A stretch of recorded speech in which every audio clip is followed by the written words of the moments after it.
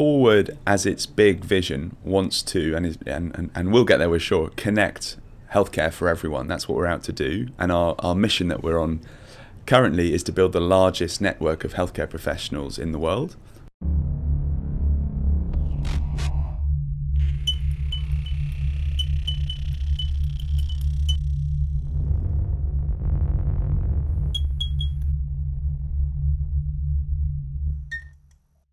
Hello, everybody. We are live. It is 2019, and we are joined by Dr. Barney Gilbert. Barney, thank you for joining us.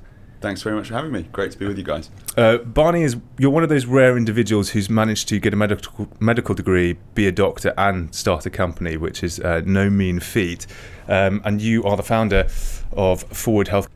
Um, so, how did you bridge the gap between sort of going on this trajectory where a lot of people you know, from 15, 16 and deciding to be doctors to mm. then transitioning into becoming an entrepreneur? Mm.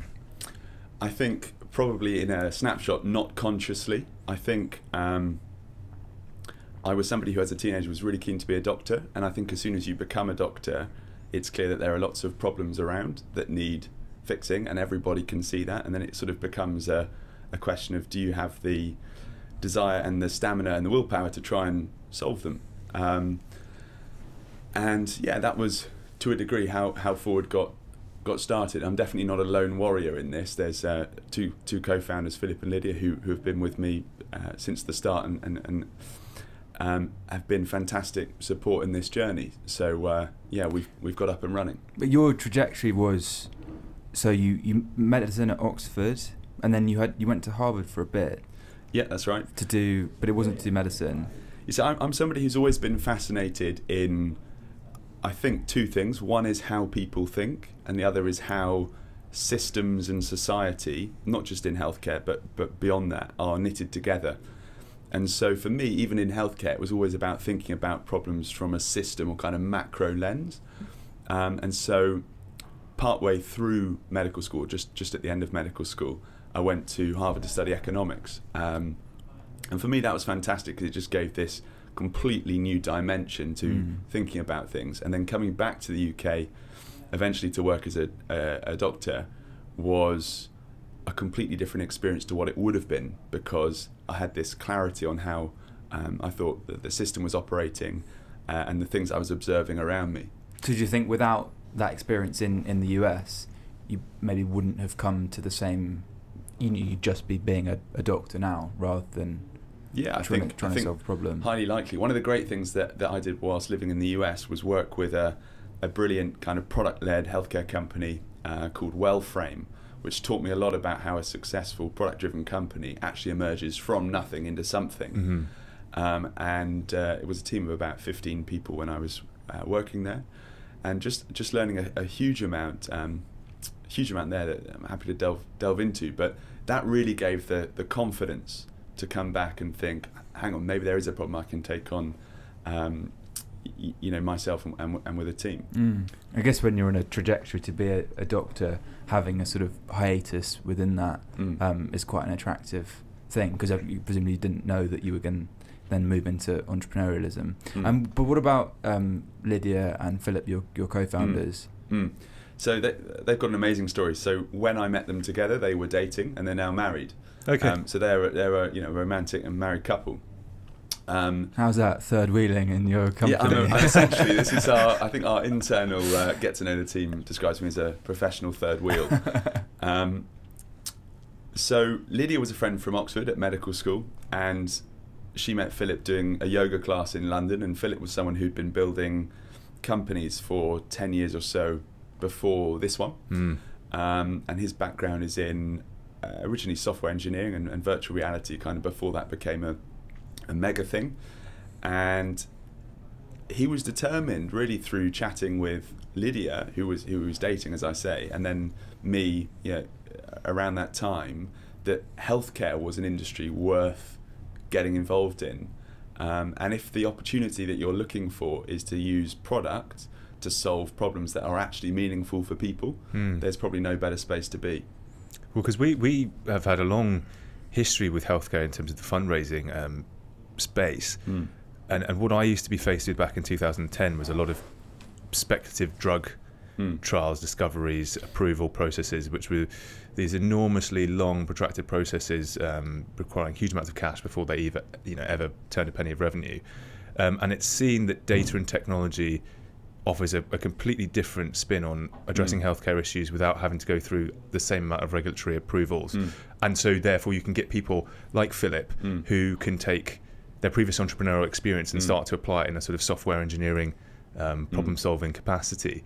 Um, were that so with them dating was Mm. there any reticence for you to then join on as this third wheel and think actually is this going to be a problem you know starting a company with founders who are sort of Well, where, where did the German the idea come from? Mm.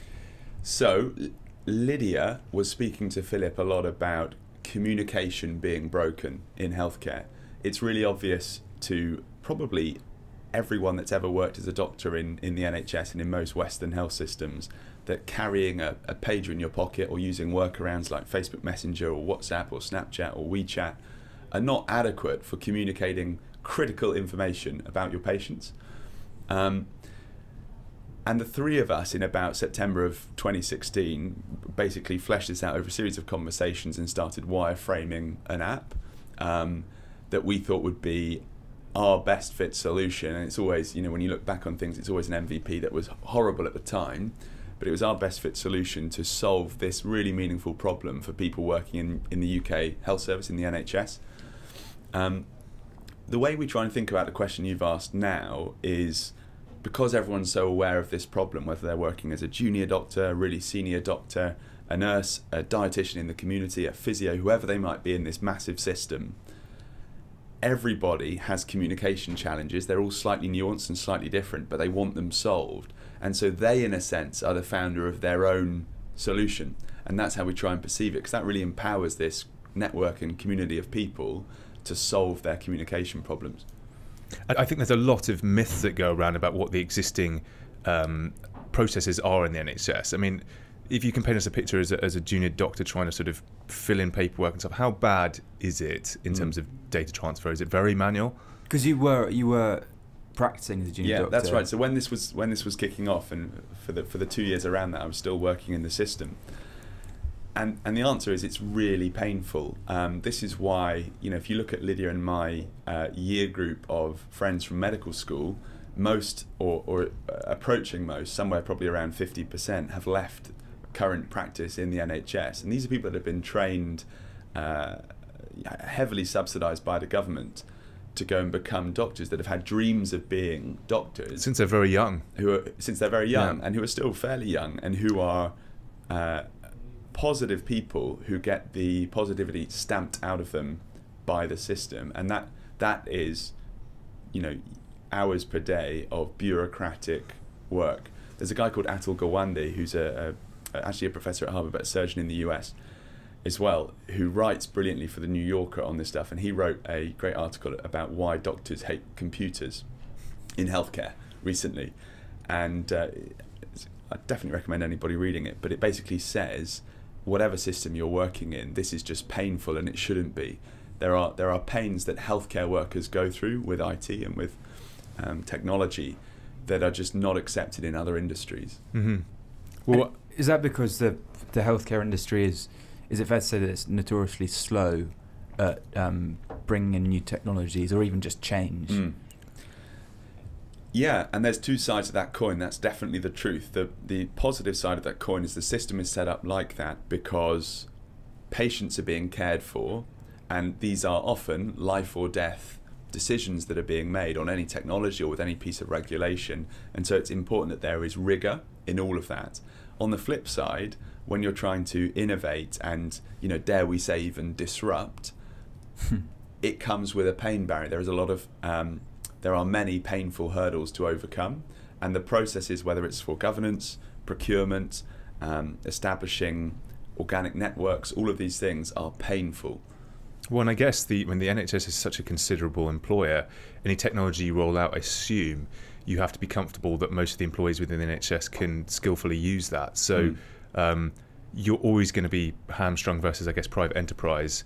Because what, what's what's the difference in the way that private clinics can work with patient data and Mm. those relationships? Is that considerably Mm. more efficient? And So th- the truth is, Often not. There are there are some cases where things are more streamlined in the private sector, and generally that, that's because the, the networks for procurement or for implementation are smaller. It's not because the laws are different. Hmm. Um, generally speaking, the private sector in the UK, um, health sector, is, is going to be regulated under GDPR, just like the, the NHS will be. And, and and when you got a little look how America's private healthcare system worked, potentially when you were over Mm. there, um, did you notice any stark differences in the, the way that is? Because again, it, it's sort of a bit of a black box. Mm. We just make assumptions about how the Mm. American healthcare system works. But Mm. what was your view on Well, that? just like the NHS, it's something that within a year or so you can get to understand quite deeply. Just like the NHS, there are nuances of the system that you that you need to understand if you're going to navigate successfully, and the, the types of stakeholder, particularly with insurers, that you might need to engage as a as an early company, are different. The the major difference and the thing that's so positive and that gave me confidence whilst in the US is that you get support from your senior clinicians, from investors, from university and academic backers much earlier in the US than you might in the UK. So if you have a brilliant idea at a hackathon at MIT on a Saturday morning, by Sunday night, if you're expert and you've pulled together a good team, you could have funding for it Wow. and that's completely different to guys in the NHS. And the game is changing here.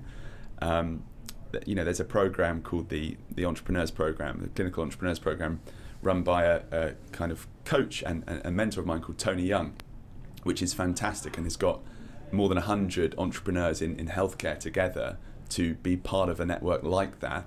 But the the uh, the bar hasn't got quite so high yet.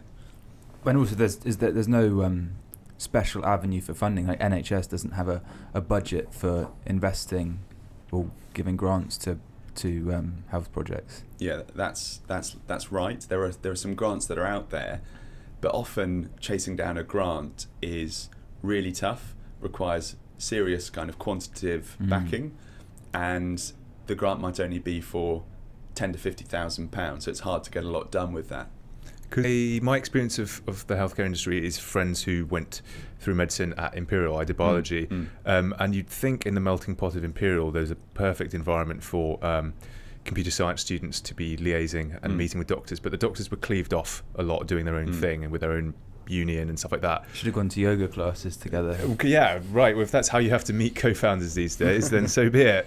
Um, and and that was probably a bit of a failure of the system. I think somebody wasn't, and I don't think the discussions were being pushed towards doctors about getting a, a meaningful understanding of technology Mm. available to them. And and similarly, I don't think enough was being done on the other side to sort of match up to the to the doctors and the healthcare departments. Um, so if that can be, you know, not successfully addressed in Imperial, where you've Mm. got a small, tiny campus, uh, you can see why it's not not working at a larger scale. Mm, for sure. Um, can we take a step back for a moment? I'd Yeah. like to sort of get a better handle on how you went from that idea between the three of you Mm. to executing it to Mm. where it is now. Mm. And in fact, it'd probably be helpful just to give us your sort of nutshell su- summary Mm. of what Forward Health Mm. is about. Mm. Okay, so Forward, as its big vision, wants to, and, is, and, and, and we'll get there, we're sure, connect healthcare for everyone. That's what we're out to do. And our, our mission that we're on currently is to build the largest network of healthcare professionals in the world. We're currently only in the UK, and for deliberate reason that, that we can explore if, if you guys want to. It's an app at its core, and it is becoming a platform, um, which is really important in healthcare in terms of how data moves around within different parts of a system. But at its core, it's an app. We've made something available to healthcare professionals all across the UK from their own app store to download something that's core functioning is instant messaging. That's got to be secure, and there's work that you've got to do to make that secure over a tool like, say, WhatsApp. to make it fit for purpose in the healthcare space. Well, to make it secure for purpose, and then in terms of fit for purpose, there's a feature set around that which can be quite simple from the start, Mhm. which adds value way beyond what any other instant messaging tools might be able to do. Those can be simple things like connecting, uh, a bit like on Slack, you have channels of of, of, of your team. Um, you can do similar things, but you can also start to connect um, across departments in a hospital, say, or across he- healthcare regions and wider networks, and you can start to channel referrals and advice about patients right across the system. Who So- defines those those specific channels that you create and use?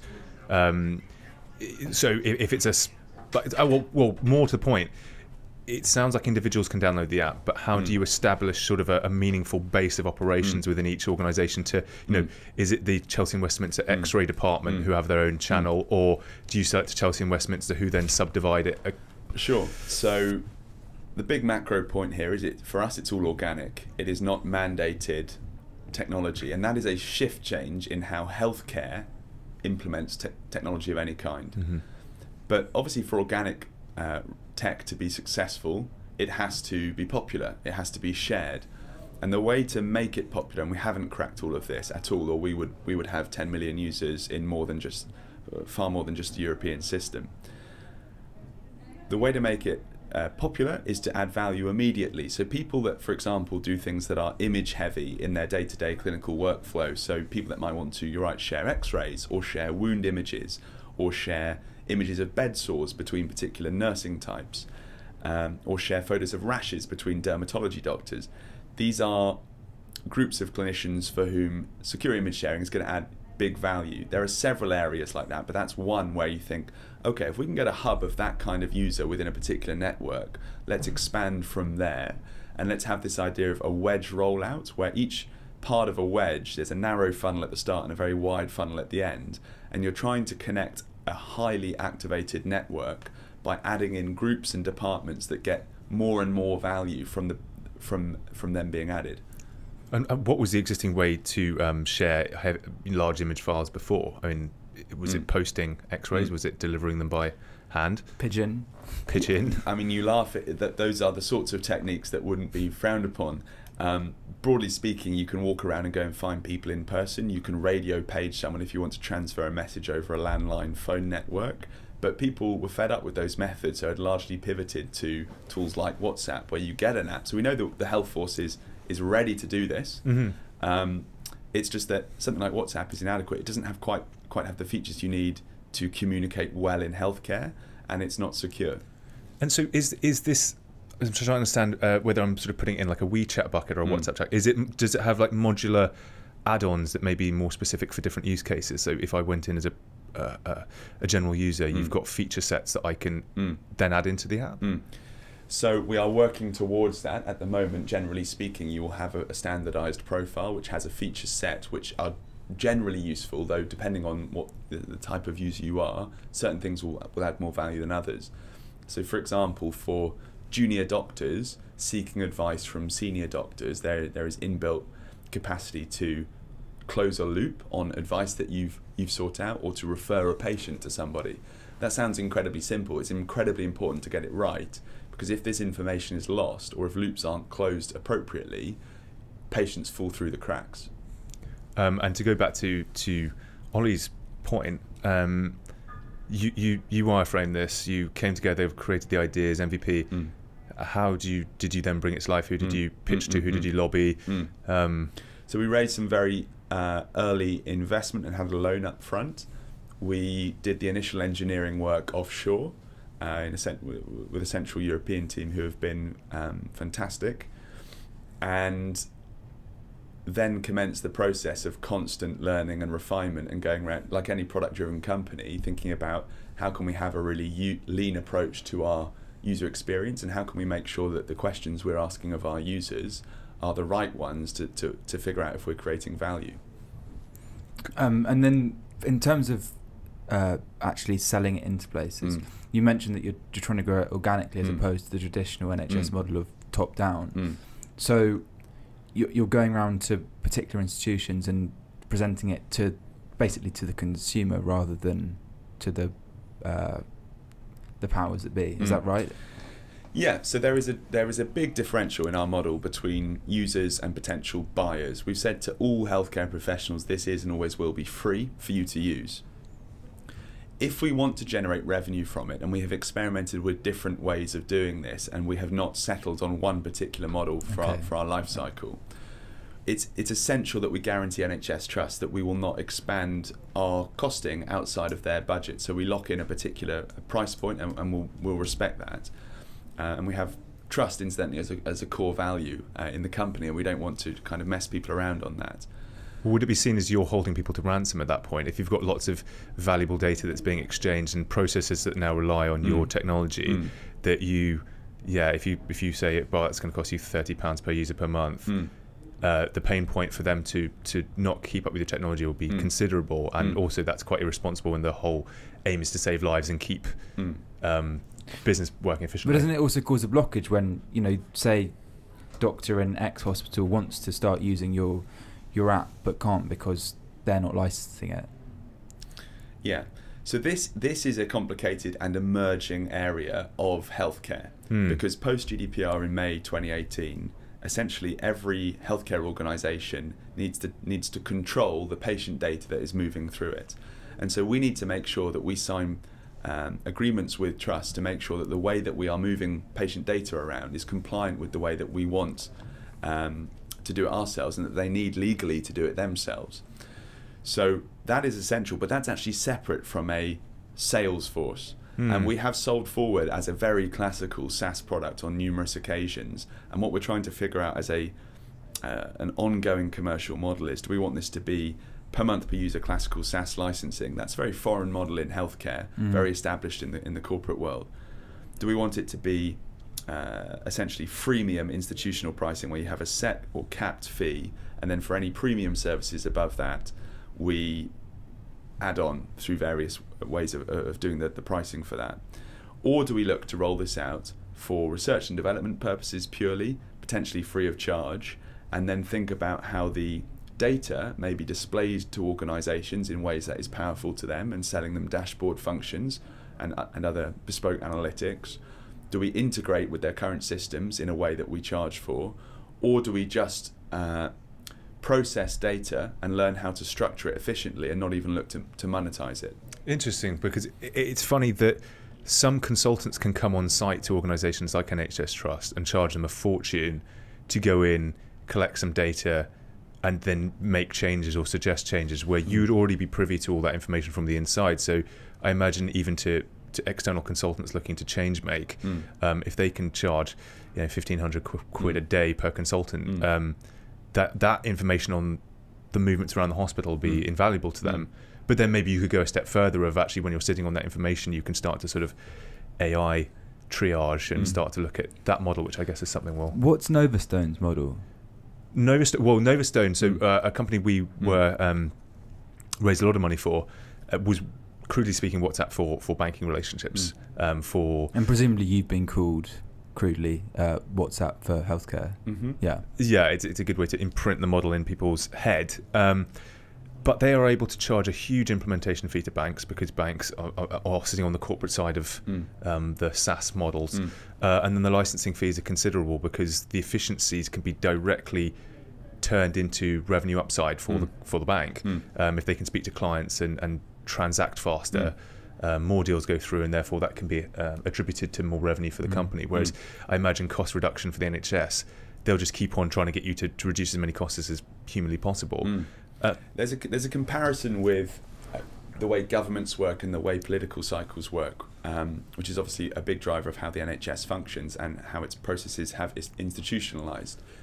And that comparison is, it's very tempting for us to look to provide an in-year cash saving for an NHS trust because then they can say this has been knocked off of our balance sheet this year. We will buy you for a, for a price beneath that Hmm. and make this a very very obvious business case. That's generally how NHS business works. If you have a dream and a vision beyond that, and you, for example, say, we don't just want to save healthcare professionals time, this is not purely an efficiency tool, it is ultimately about patient outcomes. Even if patients are passively discussed on our, on our platform now and are not active participants in that system, although that is our aspiration, um, we want to improve outcomes for patients and we want to find a way ultimately to be able to make that a sustainable business. That's a long term way of playing a business model in healthcare, just like a politician doesn't want to play a very long game, and why certain funding models in, in politics, like uh, social impact financing, for example, might be a more strategic way of, of actually ending, financing a, a political program because you don't have to get the returns on it before you're voted for that year. Yeah. Sure. That's a very good point. Um, and and in terms of the effect you're having, Uh, have you got any data that's coming out from provisional studies of how much efficiency you're you're you're achieving, or how you're just improving anecdotally the lives Mm. of junior doctors or Mm. other members of Mm. medical staff? So we, we are doing some really exciting research with a big NHS collaboration. Part of that is quantitative and part of it is qualitative. At the stage we're at, a lot of the qualitative stuff and the use case generation and the user storytelling is the most powerful stuff that we hear. It's it's really inspiring and and powerful. The quantitative stuff exists and is also um, noteworthy. So, for example, an, an early study that we did showed that when used versus existing communication methods in a hospital for a series of junior doctors, forward saves about 45 minutes per shift. So if you're doing an eight hour shift, that is a very significant percentage time saving. And obviously, for the trust, this is where the modelling becomes interesting. You do not simply fire your workforce for the last X percent of their working day, they continue to work. Mm. They simply channel that time back into better care for patients. And then you have to think about what's the indirect outcome then financially that we are working on. Well, it might be patient satisfaction or it might be particular patient outcomes that do improve because these highly skilled, highly trained doctors are now spending 45 minutes a day more with them. So these models are hard to prove out, Mm. um, but the, the work we're doing quantitatively is starting to get there. It's almost rehumanizing the patient care by Mm. freeing up doctors' time. Um, you allow them to actually have more contact with patients and, and probably in a better bedside manner as Mm. well. I mean, in your experience, I don't know how long you were practicing as a Mm. junior doctor, um, but of an eight-hour shift, Mm. how much of it was um, actively helping a patient, and how much of it was Mm. paperwork? When you're when you're a, a, a true junior doctor, like in the first year of your, your work, which is called the foundation program or the internship in the US, you might spend 50 or more percent of your time doing bureaucratic tasks, pro- probably closer to 80% often actually. You might have 10% or 20% with with patients at, at the bedside. Wow. Um, and you, you can imagine why, even in the course of a year, uh, morale among doctors tails off because you don't you don't train to be a, a secretary. Yeah. Yeah, can, can I ask about that? Just uh, no entrepreneur hat on, just as, Mm. just as a doctor. How bad is it that you're always expected to uh, fill in paperwork correctly, make decisions correctly when you are exhausted, potentially overworked, and, and seemingly not paid commensurate to the amount of risk your job Mm. um, puts you under? Mm. Um, what, what, how, how stressful is the environment? Generally speaking, it's quite stressful. I think I was fortunate in getting through some of those experiences with less stress than other people, but the particularly terrifying and stressful experiences tend to be the night shifts because those are when you are most exposed and least supported. And so you're expected to do things that you're not trained for. Hmm. And that's when stress levels, particularly when it's fast moving, can become unbearable. Um, you know, I can remember I've written somewhere about a, a a night shift carrying what felt like a belt of grenades because these pages were lined up on around you know around my waist and they're going off every minute or 30 seconds. And every doctor has this kind of Pavlovian dog response of fear when the thing goes off. And you know that that's going to be someone that needs you to help. You know you don't really have time for it and you don't know even if you did whether you'd be equipped to, to solve their problem. God. Yeah, because I, I was going to then get on to the point of trying to compare the stress of that to the stress of creating a company because I think entrepreneurs load themselves with stress and it's self imposed stress, Mm. um, which is great because it's fueled by ambition. And Mm. obviously, if a company's seen to be in critically bad health, you do attend to it like you Mm. would or may do a patient, but it's not life and death. Mm. So I'm trying to get a bit of a barometer of experience to see if it's similar or if actually being a doctor is really. The particularly busy phase for me was trying to do both at the same time, which is why, why, why I made the decision to, to, to step out of medicine. Um, they're very different, and one of the things that I've found since being kind of full time as, a, as an entrepreneur is that you do actually have control of what you're doing, and that's one of the amazing things about being a, a founder. Um, yes, there's a, a lot of responsibility and, and, and expectation put on you, but you do have control and you can make decisions with executive authority. Whereas as a junior doctor, you, you do feel like a pawn in a big system, and for me, that's actually more stressful. Yeah, I think that's one of the, the big reasons for, for demotivation in any in any role is if you don't feel like you're in control. Mm. Um, so I think that's I can't remember where I read it, but it's somewhere advice for employees. If you, if employers, if you want your employees to feel motivated, try and make them feel like they have at least some some form of control. Mm, mm.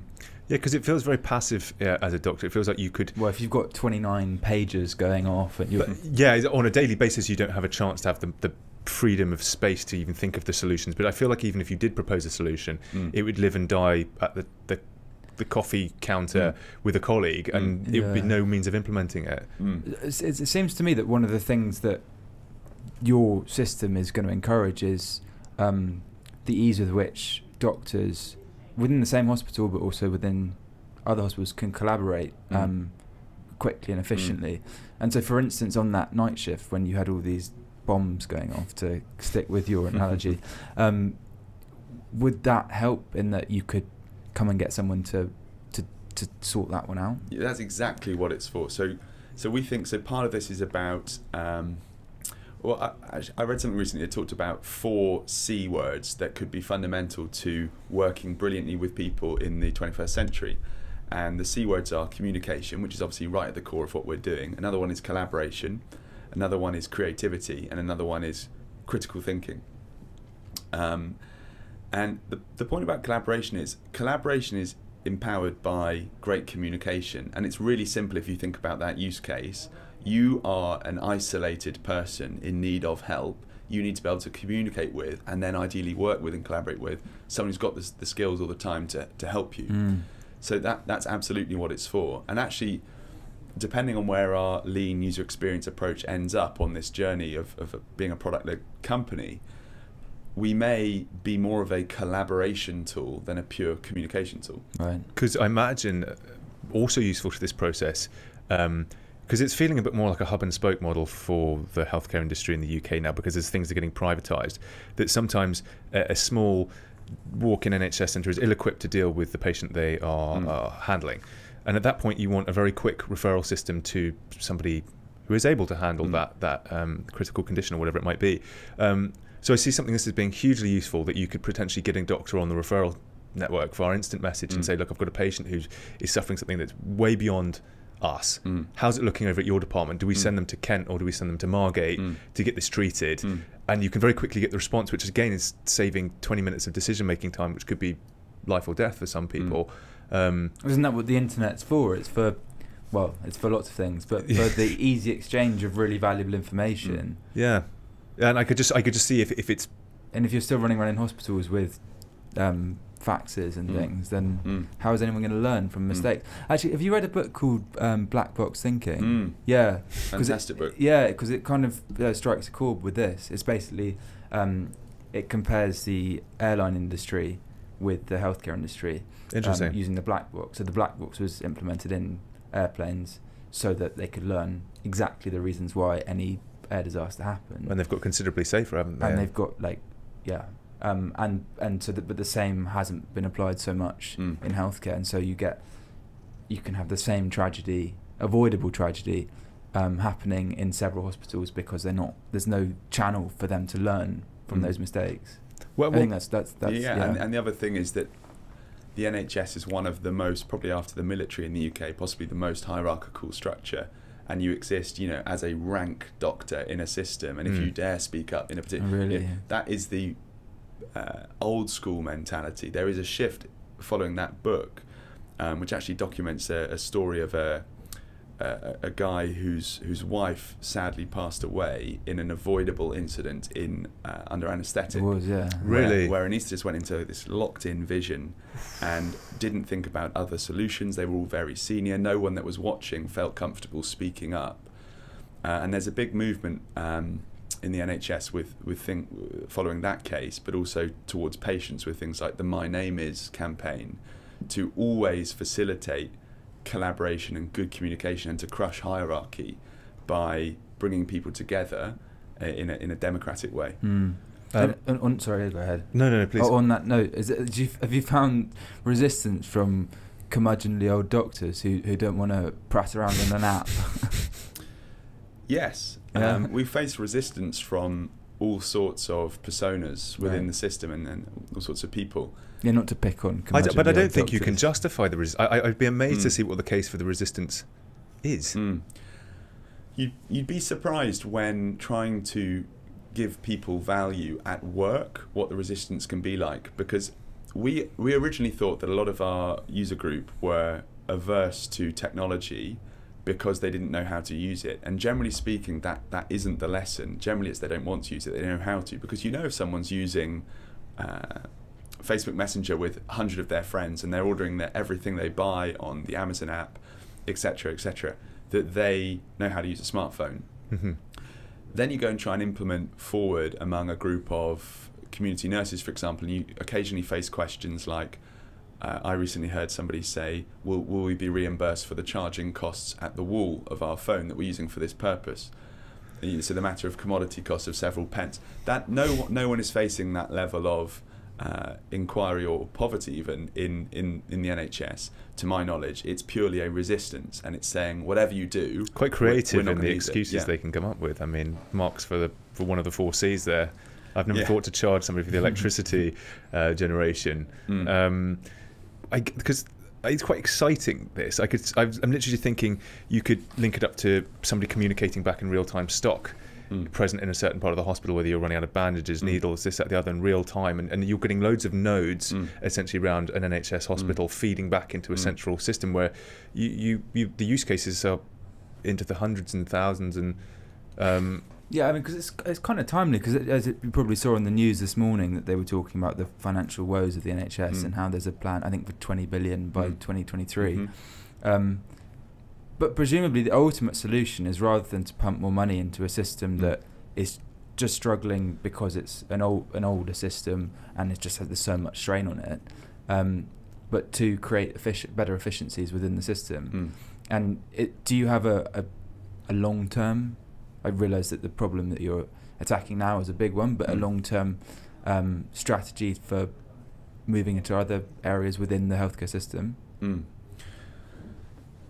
So, as I touched on, for us, it's not all about efficiency, it's about improving patient outcomes. And even that language on efficiency and patient outcomes is very much the language that the government is currently using. And to a degree, we need to understand that. But we, we also want to help redefine that because it's not about patient outcomes, it's about actually improving the specific lives of individual patients who are people's mothers and fathers and brothers and sisters. And keeping that kind of picture in, in your head as a founder or somebody trying to do something like this is really important because it gives you the the drive to get through the challenges. So that's that that's just really a point on, on the language. But yes, it's about ultimately patience for us, not about efficiency of, of workforce. But, it, but so but isn't it like by creating the efficiencies you're you're making the space for doctors to be able to work better, which Mm. produces the outcomes. Isn't Mm. isn't that, the- that, that's exactly it. yeah. Yeah. because I, I don't I don't want to thrust AI and the futurist type approaches or IoT in hospitals that, that Mm. can communicate with these messenger apps. But you know, does that sit within the vision? Mm. Could you have a series of machines around the hospital that start communicating into Doctor, you know, X Mm.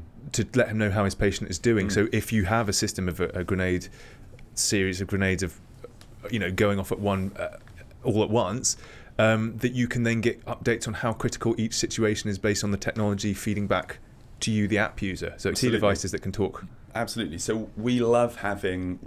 We've hired a couple of guys who are fantastic on, on, on head of product and as a CTO, and we're we're loving discussions that we have about what our roadmap could look like, um, beyond what it does look like for the next three or so months. These things are absolutely possibilities, and they're not possibilities; they're inevitabilities if we claim a big network mm. the real advantage that we have in the approach that we're taking to lean user experience design and understanding the intricacies of healthcare systems are unlike Microsoft, Apple, Google, we have potential for scale of a network. That is inherently valuable. The stuff that comes around the data, the structuring and processing and transfer of it later, is going to be a great second problem to solve. But for us, we have to solve the network challenges. and is is it always going to be a bit of a struggle with NHS because I, I spoke to somebody once upon a yonder and they said to fire somebody is, is almost like a two year process if provable at all Mm. which means if, if it is difficult to say somebody simply is just not adding enough value to Mm. this this system. Mm. Yet your technology is trying to push against some Mm. of these inherent hurdles. Mm. Do, do you see a vision for how that might be overcome, where you've just got underperformers who simply aren't invested in making the system um, run more efficiently? Mm. They get identified by your platform, just sort of saying, look, they really aren't uh, doing what they're meant to be doing. What can the NHS do about do about that?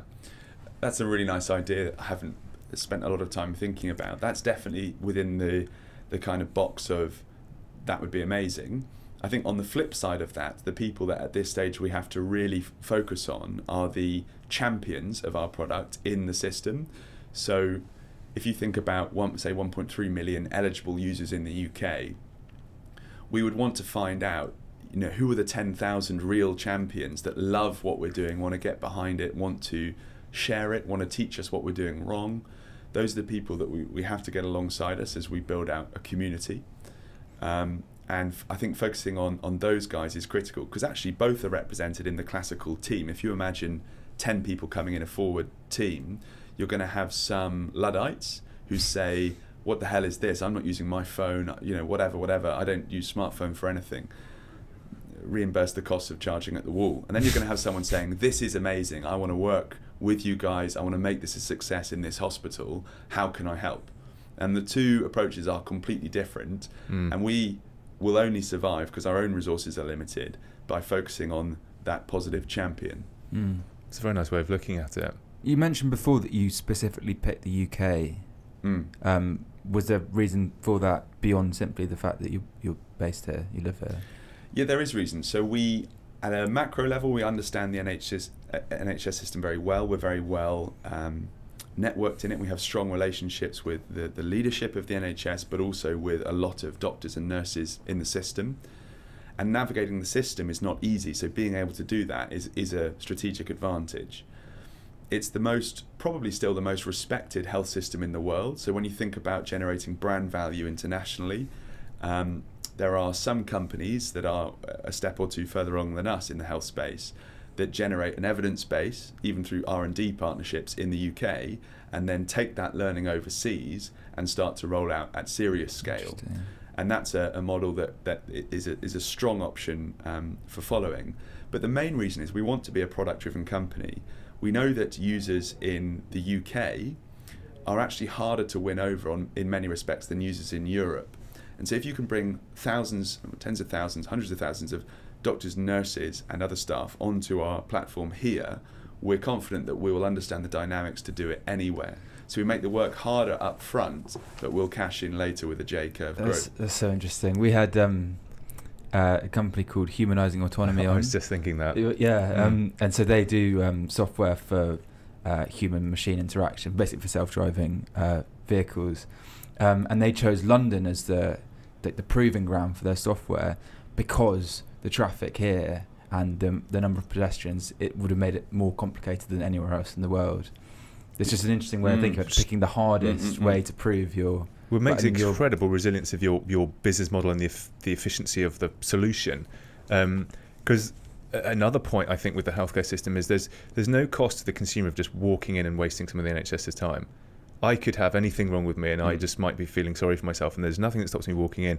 Whereas in America, you're acutely aware that walking in could cost you a couple of hundred dollars. I, I Mm. don't know the system well enough. I'm making a generalization, Mm. but you know, there there is you could see in America a reason where you could have digital triaging, where it's like actually um, an AI thing will consult you first. Whereas here, it's like absolutely not. I'm going to get off the bus and I'm going to go straight into Chelsea and Westminster and make sure I'm seen by a person, irrespective of what my issues are. Um, so I imagine solving our issues. Um, I and I always say this when we're pitching health tech startups like we have the NHS we have a specific advantage because it's so so much pressure there's so much data to be generated uh, that when you go into slightly more um, uh, I don't know less less stressful or, or more sort of well capitalized systems like Mm. America you, you've got an easier deal Mm. Do you have any um, direct competitors? So the way we view our competition is WhatsApp is an entrenched competitor without even knowing it because it's claimed a big part of the user base.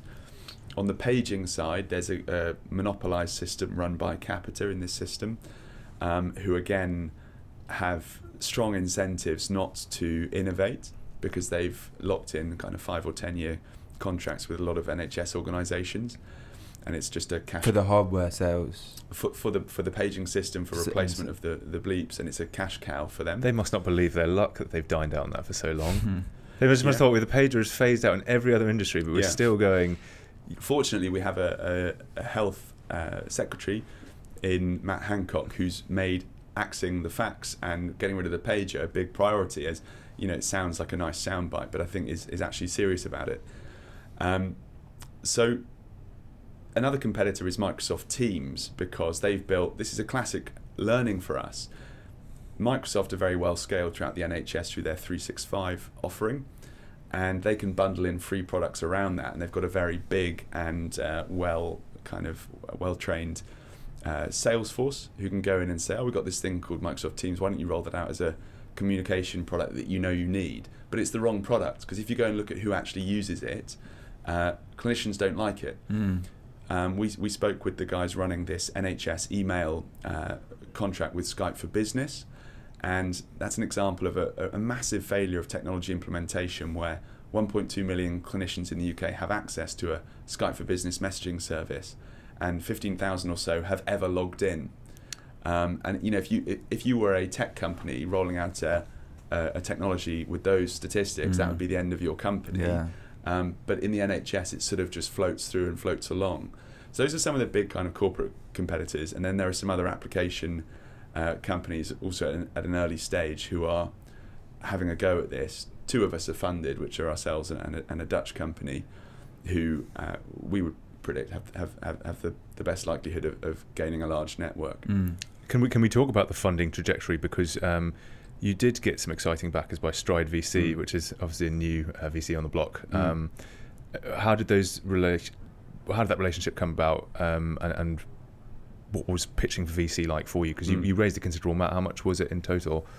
Well, in the seed, we raised about four million dollars. It was slightly over in the end, and in total, we've raised about five and a half. Okay. Um, You raised that on an idea without having built the, the product. so the so no, the initial You round- got the grant Yeah. and the loan, yeah, sorry.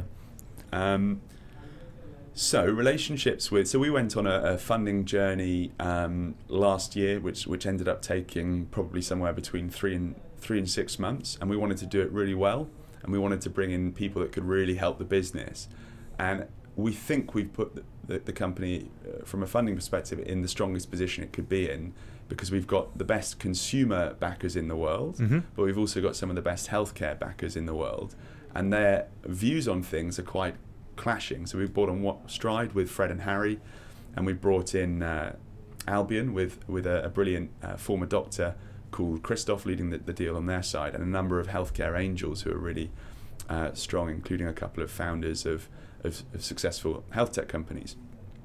So the advice that we get across the, the spectrum, the networks are really strong. Uh, and, and Fred was instrumental in building a company called PillPack, which is exited to Amazon very recently, which which I saw around its genesis whilst um, whilst at MIT and, and learning from Elliot, who had just founded PillPack and was teaching our class about some of his his uh, learnings in, in, in that journey.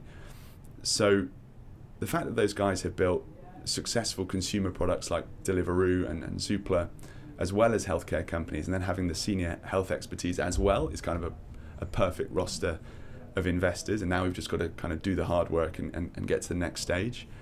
Um, So the, what, what is the next stage? the next stage will be a Series A. Um, And what do you have to do to get there, do you think?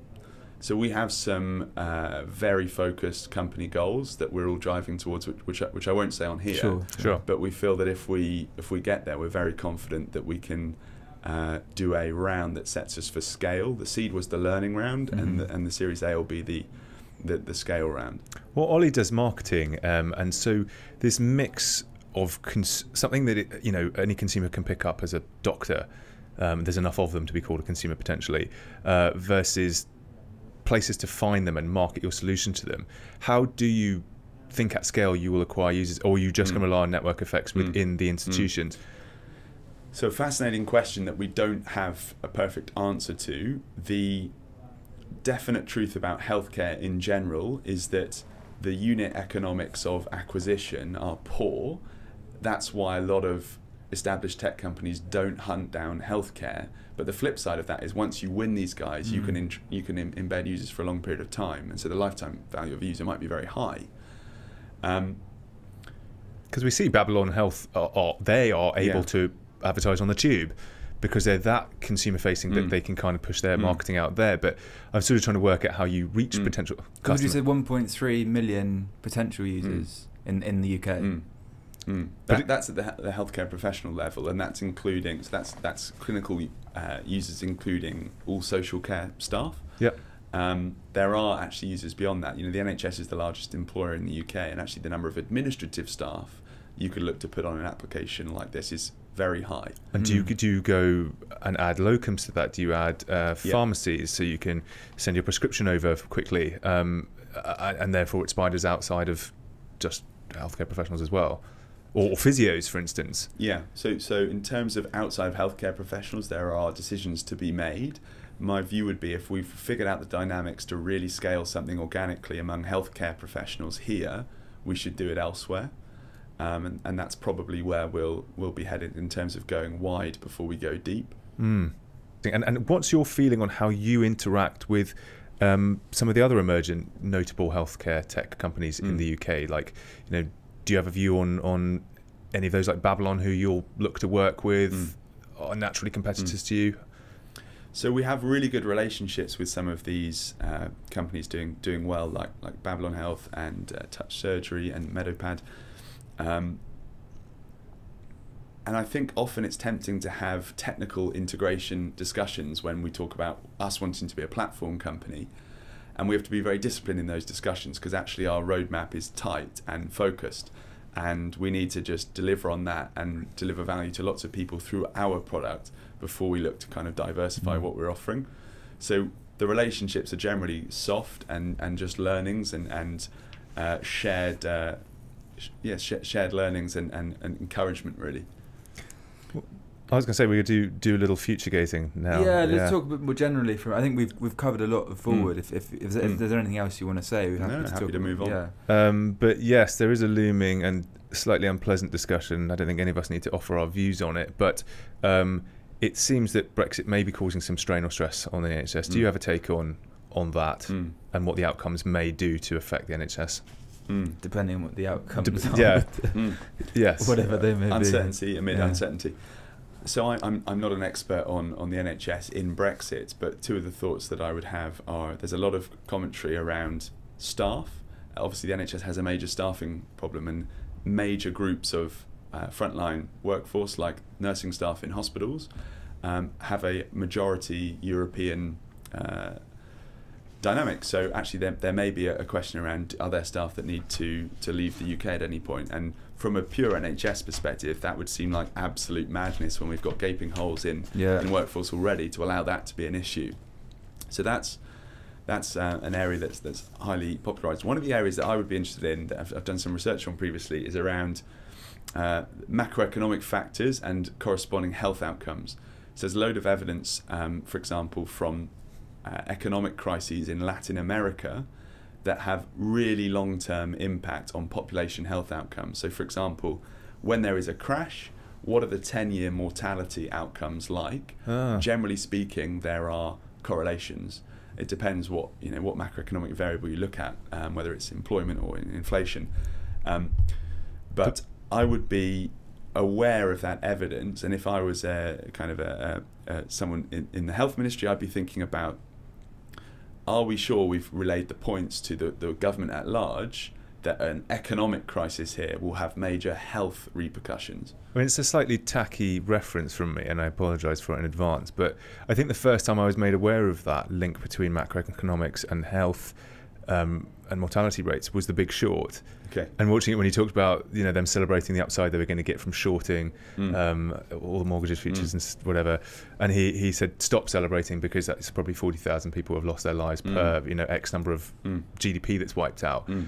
Um, and it is worth probably matching those conversations up better because, of, of course, it, you know, I, I don't know exactly how that would relate to health issues, but I don't know whether it's people can't feed themselves proper food or, Mm. or just simply. Um, but it is worrying. Mm. And, and I think the, the, the evidence suggests it's a combination of factors, as is so often the case in healthcare. There are physical elements to people's um, emerging health conditions, and there are mental health elements. Yes. So if you, you know, just to take an example of anyone who is uh, less cash in pocket in the midst of a, an economic crisis, there might be unemployment and all of the fact, feelings and factors of loss around that that lead someone to become depressed which has you know is clearly a, a, a part of their, their mental health condition. At the same time, they may not be eating well. Their diet may deteriorate, as you, as you suggest. They may start smoking because of stress or drinking more, and there are various obvious, various health, uh, physical health um, factors in that. Um, so it, yeah, it'd be interesting to, to look at those as well. And you know, I'm not an expert on that stuff, but it's, it's this interesting point of advocacy, advocacy around you know, does does does the government around Brexit even understand that that might be a long-term consequence? Mm. And as we touched on earlier, often it seems often in the policy sphere that decision making isn't governed by 10-year or 20-year impact down the line. No. A different question, perhaps. Do you have any uh, feelings about what the, the biggest health threats might be Mm. in the in the coming years? Mm. I think one of the highly spoken about and, and very interesting places that healthcare is headed is this shift from, we talk about it a lot at Forward, but this shift from health services being done in sick centres like hospitals and shifting towards wellness programs, which are, in terms of their location, in a different place, like ideally at home, but certainly in the community Mm. And in terms of being reactive at present, moving towards a place where the system is proactive and preventative, Mhm. and that's obviously where a lot of public health interventions kick in. The one that I'm really interested in is in psychology and, and mental health care, people learn about this framework called the biopsychosocial framework, which is where whenever someone gets a, a, a health condition, you can say, what are the biological factors here? What are the psychological factors? And what are the social factors that can build up this this uh, build up to this condition? And I think we're heading to a place where through all sorts of technology and, and, and data analysis and um, algorithmic programming, we can say, well, actually, for example, we know the genomic profiles of people, so we can we can start to predict what the biological risk profiles are for people. In terms of psychological risk, as our understanding of neuroscience gets better, we'll move from very kind of embryonic models of, of how um, disease pathways fit together, particularly for mental health conditions, Mm. to very molecular, personalized understanding. And then on the social factors, we'll understand, you know, what are and what are the weightings of various risk factors for causing disease. And when you put all of that into modeling, you can start to say, wow, we could at the population level intervene for people's healthcare in a way that is really powerful. Mm. I was going to say, do you, do you think that the uh, that the the power in that is going to come from private companies? Like, there's a lot of like we had Thriva Mm, on. There's tw 23andMe, DNA Mm. Fit. Mm. Um, do you think there's value there, or is that pe- people getting the information personally and then not really knowing what it means? Mm. I think in terms of how that will happen, a lot of this is like g- uh, classic American spin out style, which uh, the landscape for which doesn't exist perfectly in the UK, but it, it often looks like brilliant researchers with brilliant commercial people. If they're not in the same person, then in a group. Um, because this requires really deep research work that takes a lot of time and, and like world leading expertise combined with people who know how to navigate commercial systems. Right. Um, and I, I think that's where this is likely to emerge from. That doesn't mean it can't exist in a in a single payer health system like the NHS. It's just that it, it probably in in its current model won't be designed inside it. It's interesting, and Ollie and I have both been Thriva users. Uh, I'm happy to throw Mm. mud at the wall with new technologies to, to aid self discovery. Mm. Um, and it would be nice to think I could then export some of that information to doctors to assist them in treating me. But it's hard to know whether it Mm. feels like I'm trading gimmicky information with them that they. I I felt like that. Mm. I, I, I once tried to say that I had this piece of information from something like Thriva. No, Mm. actually, it was maybe from Atlas Biomed, um, who we also had on. Mm. Um, and the doctor was sort of, he was, I guess because they want to do their own tests Mm. to, you know, they don't want to take, they can't, well, they can't take in someone else's Mm. um, information. Mm. I don't know. But as you, you, you you know, it, it, they, you can see how it would improve the, the relay of information and the statistical Mm. outcome or likelihood that you are going to suffer from something. I think the the the point you're touching on, which I, I really am interested by, because we're seeing a lot of startups trying to address it in a B2B model in the workplace, is this avoiding mental degradation. Uh, and am I correct in saying that you know periods of, of elongated stress can up-regulate and down-regulate genes, which can Mm, definitely. really cause harm to people. By the time you get to that, it's like chronic illness. Mm. Do you think the solutions coming out are proficient? Are they are they good enough? Is Mm. it is it good enough for for small startup companies to come into the workplace and try and solve people's mental health, or what what do they need? I think it's incredibly difficult if you're a small startup company in the mental health space to try and run an end to end process from brilliant product design and the research elements that, that might go into that to navigating all of the governance, procurement, etc. of of a, of a health system. So you've got to choose which parts of the uh, kind of problem you want to tear apart and solve. Um, and I think a lot of people fail because they try and do everything. Um, I don't know that anyone's cracked that particular problem, and that is one that needs to be cracked. But it's compelling as a future uh, case to the NHS, for example, of you know we know what's happening inside the uh, genetic material of your workforce. Um, what what should we do about that together? And, and, and co-writing the story with the NHS, I think that would be really powerful. Um, again, that, that is certainly something that's uh, on the agenda, and it's something that you know the, the, the digital leaders of the NHS definitely want to claim is this area of, of genomics. You know, the DNA structure was, was defined in the UK.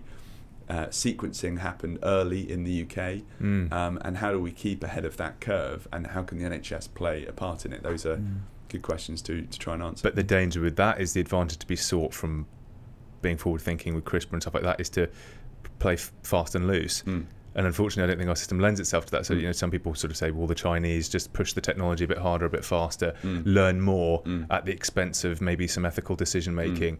And are we hamstrung by the fact Mm. that we're we're going to try and go through the right processes? Mm. Um, because unfortunately, you, you do learn. Drug discovery is, is you Mm. learn by mistakes. Unfortunately, It's, it's, it's a very difficult area. Um, what's definitely true is that in healthcare innovation, bulldozing is not possible. So innovation must take place. Disruption is a difficult word to use. Mm. Um, you know, I've- I've, said earlier in this, we, we are trying to hold trust as our absolute core value at Forward. And that means that when we have a decision about data processing, we need to make the right decision, even if it costs time. Because the, the hope, even from a strategic perspective, is that by doing that consistently, you do build a brand that is trusted and that, that has that kind of running through its, its bloodstream. Um, and, and, and that's what we're hoping to do. And it, it's tempting to to cave on those issues in the in you know in in in exchange for progress. And uh, you know we're determined to hold to hold those those things core. I'm growing slightly mindful of your time. Um, so if you're happy, Yes. should we move to the just quick fire questions? Yeah. Um, so can we have a prediction for the future from you? I think that well, let's come back to this one. Okay, come back to Yeah. it. Yeah. Um, a, a book, startup book, or resource or Mm. tool that you you'd recommend as an entrepreneur. Okay, interesting one. Um, I, I finished one this morning actually called the Mum Test, which I think a lot of people will have read. But it's about how you know how do we actually ask good questions Mm. of of uh, of users of a of a product. That's a fantastic book. book I read over Christmas was stolen from my other half, Lara, which was Becoming by Michelle Obama, which everybody seems to be reading. Hmm. I've heard. Yeah. It was great because, if nothing else, you learn a lot about um, Obamacare, and you do learn lots of things actually. But Obamacare and, and the way that Michelle supported um, Barack in in really being passionate about implementing the, this policy for 20 million previously uninsured Americans, and the way that both of them persevered in making that happen was inspiring. Mm-hmm. because I don't really currently understand the state of it. All you hear is that sort of Trump's trying to tear something, tear it down, and and the next person into Mm. into office just seems to slag off the work of the person previously. So it's Mm. it's unclear to me Mm. how successful Obamacare was. Some people deem it as, as not having been successful. Some Mm. people say that it was, you know, an epic Mm. go at trying to Mm. do this. Do, do you have a take on that? Just I have a take on it and if you're one of the 50 million previously uninsured Americans, it can only be a good thing. Yeah. Mhm. Um, and there are, you know, when you think about what that really means, that 20 million people who are, it's, it's not clearly not perfect, but generally speaking, are able to go to bed at night feeling that their healthcare could be looked after. You know, not not by the absolute premium provider potentially, um, but that's that's serious change. Yeah. Um, I, yeah, I think it, you know it gets highly politicized and it is a very complicated uh, arena. But I think that was an amazing amazing piece of legislation. Um, what's the best advice you've ever you've received in this context? Mm. I had a conversation recently with, with someone I mentioned called Tony Young, who's the kind of head of innovation in, in, in healthcare in the UK. And he helped my thinking around basically thinking about how our brains work and how people talk about head versus heart when they're making a lot of decisions and how even our awareness about how our brains are working on certain things like the fact that we have a limbic system in our, our midbrain structures are wired to be emotional processes and how our neocortex and our things like our orbitofrontal cortex are, are wired for executive decision making. If you think about those things, that's your thinking like you're with your heart and with your head in a, in a conventional sense. And for me, being aware of that is making a big difference in terms of trying to understand the way that I think Hmm. and the way that, that, that in general we make decisions.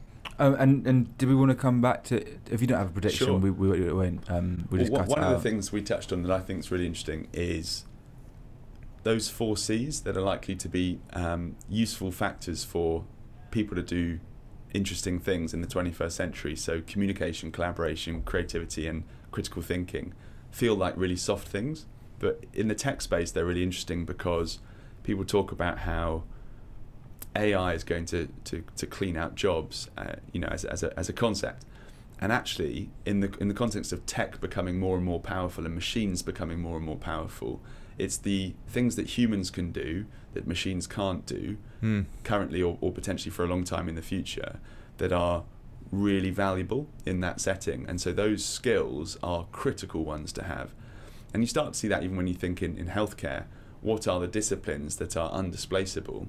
And a lot of the softer consulting ology disciplines like rheumatology or hematology that are quite cerebral, Mm. that require long term collaboration with patients, clear communication, critical thinking around their um, their diagnosis and, and potentially even creativity around how you structure their their treatment. Those are the disciplines which I think are, are, are really exciting um, for the future. And you know, to that vein, it looks a lot more threatening when you're doing a, a largely manual process like surgery, for example, which which one might imagine it could be replaced by a, by a robot. Mm. Um, that, that that comment probably won't go down well in half of medical uh, world, but um, yeah, that that's an interesting interesting thought. And do, do you think there is work? I know I'm going over this quick fire limit, but I'm going to do it. You're Um, incorrigible. In, in terms of just positivity when it comes to rehabilitation of, of patients. I think at, at the theoretical level, there there's a thing called logotherapy that Viktor Frankl thought about um, from concentration camps in the Second World War. Mm. That was about essentially it was in a book called Man's Search for Meaning, and it's saying great that book. whenever someone has meaning, uh, they can you know he who has a a why can tolerate almost any um, any any uh, how I believe is the phrase. But the, the concept is you can get through through anything if you've got meaning. And at the biochemical level, probably what's happening is, you know, you, you're right. Your stress hormones um, fluctuate, but you've got all sorts of hormones moving around your bloodstream, and you've got endorphins, and the, the, the power of positive thinking is reflected in those things. And Mm. yes, that will have a, a, a knock-on effect on how your genes are expressed and how your brain is functioning. Well, that's interesting. And last but not least, um, we like to try and support uh, each entrepreneur who comes on the show to see if we can try and help uh, with our audience to to kind of empower them to help you. Um, So Mm. if there was anything you could ask our audience um, that would be beneficial to forward, what would it be? Would it be doctors using the app, Mm, or is mm. there, there any other advantages? The the really big focus for myself and the co-founders at the moment is hiring uh, a, a team that we are convinced can change the world. That's that's that's where we're at, and we're trying to hire absolutely amazing people. And we've got 12 roles out for for grabs at the moment. Um, and so, if you are able to float something in, in the network, you know, there's a, a website which is forwardhealth.co slash jobs. So forward slash jobs. Um, there are four roles in engineering, uh, two in product. Uh, there's a, a, role in informatics. There's a role in success and community. Um, so yeah, we'd love to have some brilliant people that are listening apply for those roles, and we'd love to to come meet you. I feel like they'd be ever so lucky to work there. It's a very inspiring company. Mm-hmm. Um, so yeah, thank you very much for your time, Barney. Really appreciated having yeah, you on. really enjoyed it. Thanks Um, a lot, guys. Been, cheers. enjoyed being here. Thanks.